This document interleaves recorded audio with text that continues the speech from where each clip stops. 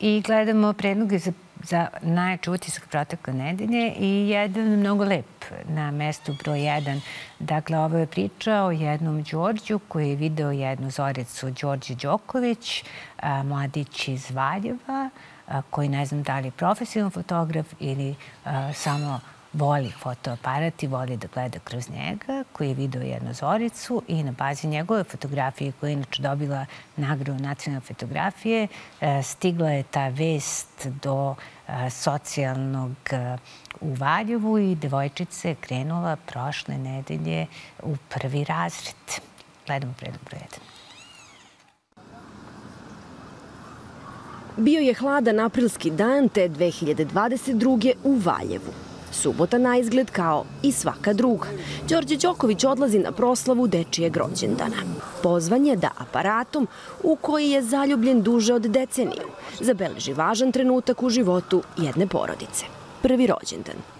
I dok slika veselo i razdraganu decu unutra, pogled mu skreće romska devojčica napolju. Priljubljena uz izlog lokala, pomno prati šta se dešava unutra. I onda sam vidio moment kada je devojčica koja je stajala unutra sa sokićem prilazi, bukvalno su se stajale jedna naspram druge i gledale. Unutra je dete koje slavi rođendan, koji ima svega na izobilju, a s druge strane neko ko nema ništa, koje eto, bukvalno ono, dolazi da prosi tu. Svako će od nas da vidi neku drugačiju poruku ili drugačiju pojentu. Naprimjer, ja sam, ja sam vidio osmeh na njenom licu.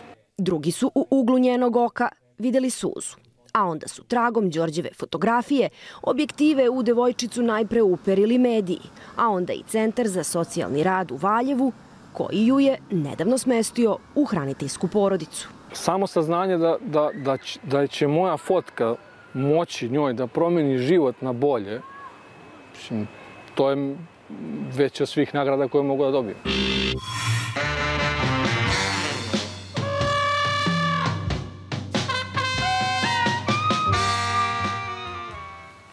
Ovo bi mogla da bude ta tema kad bi svako radio uh, ono zašto je talentovan i zašto ima oko. A na mestu broj dva gledamo jednog čoveka koji ne želi da vidi i koji ne želi da govori i ne želi ništa da zna osim ono što mu se kaže. Ivica Dačić se danas izvinio i kaže da nije hteo da brani Radočića, da nije ni video taj snimak i da mu je samo neko rekao da je tamo bio sneg. U njegovom gostovanju se videlo da je u nekoliko navrata konsultovao telefon, a koga je zvao i komu javio da je sneg, ostaje da nagađamo predlog broj 2.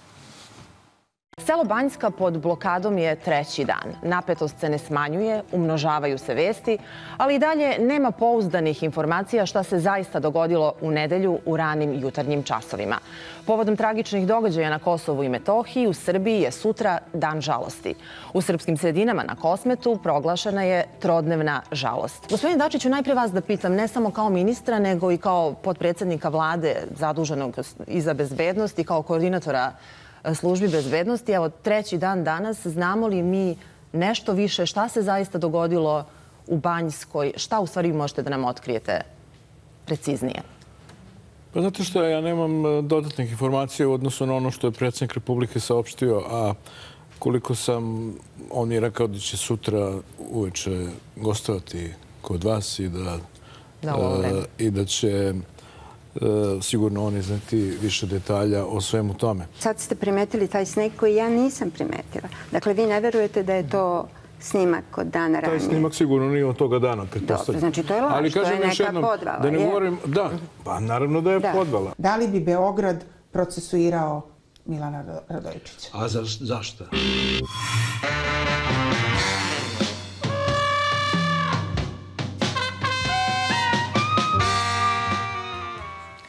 Da, Ivica Dačić je jedan od redkih e, koji se pojavljivao u medijima proteka nedelje i bilo je dosta očigledno da su ljudi koji su zaduženi da nam objasne šta se desilo, prošle nedelje izostali. Dakle, nigde nikog nema u jutarnjim programima Pinka, ni Idola, ni Informera, samo ona neka sitnija boranija. I šta su uradili urednici kad ih nema? Oslonili su se na Čedu Jovanovića On je u svom gostovanju u jutarnjem programu na Pinku pominjao Čehova i pominjao onu čuvenu priču o puški koja ako stoji na zidu će u nekom trenutku da opali, ali ovde više liči na Čehova ovaj moment prevarenog očekivanja. Dakle, da li su urednici Pinka baš ovo želi da čuju, to je predlog broj 3. Hoće li se ikada završiti spirala incidenata koji postoje na severu Kosova i Metohiji, koji su intenzivirani u poslednjih... Pa jedino ako mi prestanemo da budemo pizde ovde u Beogradu. Jedino tada. A mi smo uh, uh, bogom dani da druge guramo, da druge guramo u klanje, pa da, da podvijemo rep. Da li je to prejaka reč što ste iskoristili? Ma, prejaka. Pa žao mi je, ja ne znam, ja ne znam jaču. Ja ne znam jaču. Ja za jaču ne znam, iskoristio bi je da znam. Užasno je to što se, što, što se desilo. Užasno je što je taj policajac stradao. Što su ti ljudi poginuli. Kad, vi, kad, kad, kad, kad, je, kad, kad je puška u ruci, tu, tu, to je kraj, tu pameti nema. Ne, ne brani se tako država. Ne brani se tako Srbija, ne brani se tako srpstvo. A kad završite u toj poziciji, kad u toj poziciji završi, onda, onda, onda mora se postoji pitanje ko je za to odgovoran. Mi smo za to odgovorni. Ovde u Beogradu. Ne oni dole.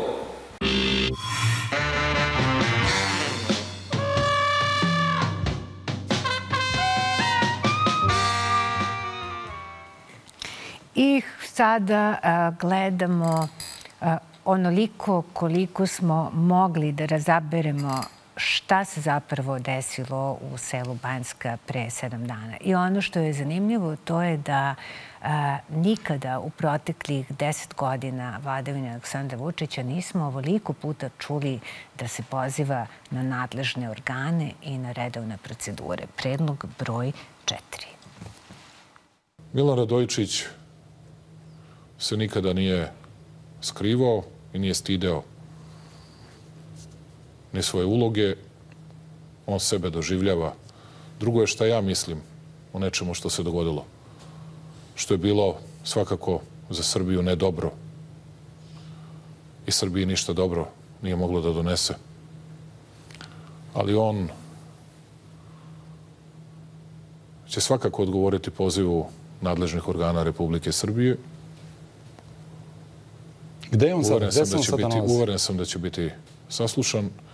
Nalazi se na teritoriji centralne Srbije i Republika Srbije i njeni nadležni organi radeći svoj posao. Šta je bila ideja te noći? Otkud ja to znam?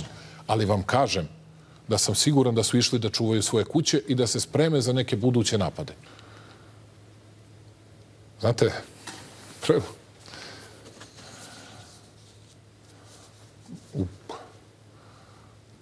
Prethodne tri noći spavao sam ukupno sati 40.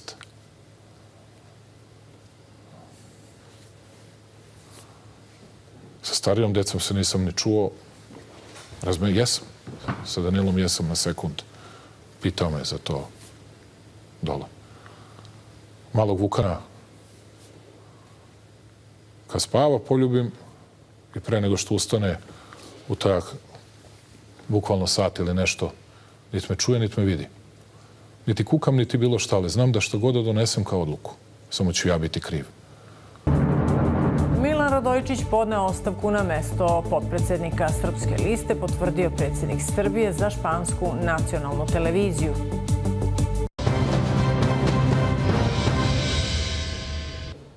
Poštovani gledalci, uključujemo se u vanrednu konferenciju za medije advokata Gorana Petronijevića koji će objaviti saopštenje Milana Radojičića, podpredsednika Srpske liste. Ja, Milan Radojičić, od oca Rajka, rođen 1978. godine u Peći, na Kosovu i Metohiji u Republici Srbiji zbog mnogobrojnih spekulacija koje su se pojavile ovim putem obaveštavam celokupnu javnost da sam zajedno sa mojim sunarodnicima sa severa Kosova i Metohije dana 24. septembra 2023. godine došao na sever Kosova i Metohije u predelu sela Banjska. O ovome nisam obaveštavao, obaveštavao nikoga i struktura vlasti Republike Srbije, niti iz lokalnih političkih struktura sa severa Kosova i Metohije, niti sam od njih imao bilo kakvu pomoć, jer smo već do tada imali različite stavove po pitanju dosadišnjih metoda otpora Kurtijevom teroru. Kosovska policija je umeđu vremenu pretresla više objekata na severu Kosova u potrazi za dokazima. Objavljen je snimak Radojčićevog kompleksa na obali jezera Gazivode. Zaplenjeni su automobili, motocikli i čamci. Prvo ide po proceduri, to je ono što znam. Nemojte me za sadržinu sasvim pitati, ako sam video suštinu. Znam sigurno da policija mora na osnovu medijskih izveštaja da prikupi određene informacije, zatim dolazi tužilac, pa tužilac da dodatno traži PO, dakle prikupljanje obaveštenja, i onda tužilac donosi odluku i da li na podizanje optužnog akta ili ne. I u skladu sa tim hoće li biti optužnog akta ili ne za 5 dana ili za 50 dana možemo da procenjujemo šta je to što tužilac, odnosno država, želi da zaključi iz celog procesa. Predsednik je pomenuo Milan Radojičića, što mene zabrinjava iskreno rečeno. Strašno me zabrinjava da, da, da je on to uzima njega kao primer e, borca za, za opstanak srpstva na Kosovu. Evo, nemojte citirati, možda ja samo nek ostane na ovom, zato što direktno mu dajem priliku da me... Da, ne, ne, ne, ne, ne, nek ostane tu, zapamtite to. Uh -huh. To ćete imati ime. To, to, to je taj kriminalac.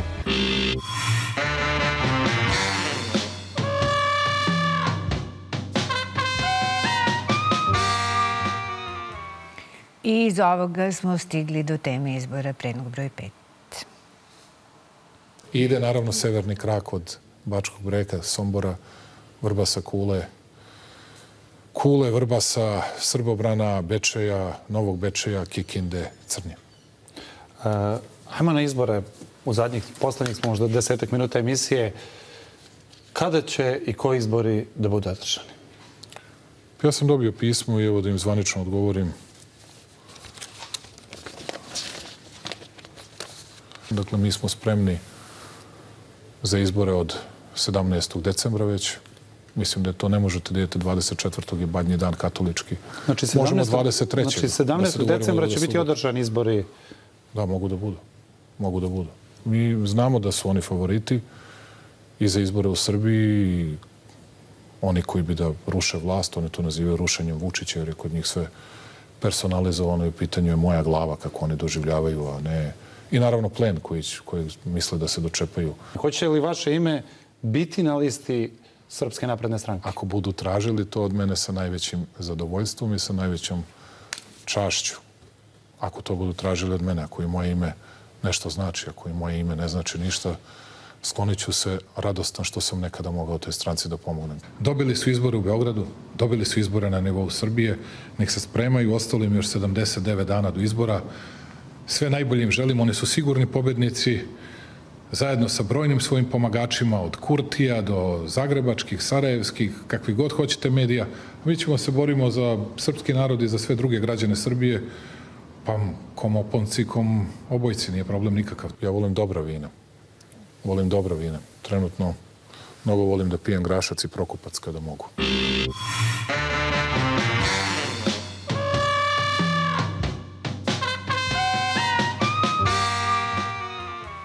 I da, hajmo da vidimo ostavke gradonačelnika Dosta im je terora. To je prednog broj šest. Pajić, Petrović, Nikitović, Sentić, Popadić, Svetanović, Mladenović, Rajić, Bogdanović, Beč, Rvović, Turk, Nenadović, Krstić, Biševac, Dašić, Terzić, Radojković, Miličić. I tu nije kraj spisku SNS gradonačelnika i predsednika opština kojima je Maltene u istom danu dozlogradila opozicija, pa su iz tog razloga, a ne zato što im je centrala stranke naredila, dali ostavke. Ostavku sam podneo iz prostog razloga, kao i verovatno većina mojih kolega u Srbiji, zato što je nama malo više preko glave da trpimo teror ljudi koji najverovatnije ni klupicu nikad nisu donirali svome gradu, a nekoli nešto uradili u svojoj ulici, u svom komšiluku da trpimo više teror ljudi koji skaču po skupštinskim klupama. Vidimo u stvari jednu situaciju u kojoj je Aleksandar Vučić odlučio da potpuno mimo svake logike, mimo svakog zahteva opozicije, pa ako hoćete mimo svake normalnosti, natera svoje gradonačelnike i predsednike opštine da podnose ostavke u 70 lokalnih samuprava. Ja sad koristim ovu priliku da postavim pitanje Aleksandru Vučiću šta radiš čoveče? Šta radiš sa ovom zemljom? Da li je moguće da do te mere rastačeš ostatke demokratije, ostatke državnosti ove države više od polovine lokalnih samouprava teraš na izbore da bi ti ljudi tebi radili parlamentarnu kampanju, da staviš ponovo svoje ime na svaku listu, iako si obećao javno da to nećeš više raditi, jer ne glasa se u Kučevu za Aleksandra Vučića i ne postoji u Kučevu, Leskovcu ili Kraljevu kriza vlasti. Što se tiče ostavke, nisam podneo ostavku, a ako je budem kojim slučajem podnosio, obavestit ćemo svakako i javnost, što mislim da jeste i red i nalaže neka kultura, tako da budite strpljivi, kao što je Igor rekao, u narednim danima ćete znati više. Da li ste se raspitali zbog čega su vaše kolege sa Juga davale ostavke? Nisam se raspitivao. Kada šaljete obrazloženi predlog predsedniku da raspusti parlament i kada će biti izbori? Čućete uskoro. Dakle, vi to u ovom trenutku ne znate. Moja ostavka je na stolu. Od juna, Na čijem stolu? Na čijem stolu? Na, Izvolite, čije, na čijem stolu? Izvolite, Aleksandra odgovorila sam na pitanje. Pa ko odlučuje o datumu izbora? Izvolite, odgovorila sam na pitanje. Ko odlučuje o datumu izbora? Izvolite, odgovorila sam na pitanje.